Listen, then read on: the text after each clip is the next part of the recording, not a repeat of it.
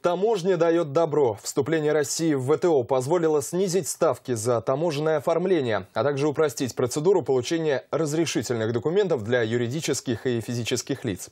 Об итогах работы ведомства за 2012 год журналистам рассказал начальник Самарской таможни Александр Архипов. Главное новшество – электронный документооборот и технологии удаленного выпуска для крупнейших промышленных предприятий региона. На примере «АвтоВАЗа» Архипов продемонстрировал размеры экономической выгоды подобных проектов. Смысл заключается в том, что э, товар приходит в Балтийскую таможню, декларация подается непосредственно автовазом на таможенный пост «АвтоВАЗ», и происходит выпуск товара, при этом товар находится не в регионе деятельности таможни, а находится на Балтике. Вот эта вот процедура, по нашим прогнозам, принесет экономию акционерному обществу «АвтоВАЗ» за 2013 год в сумме 250 миллионов рублей.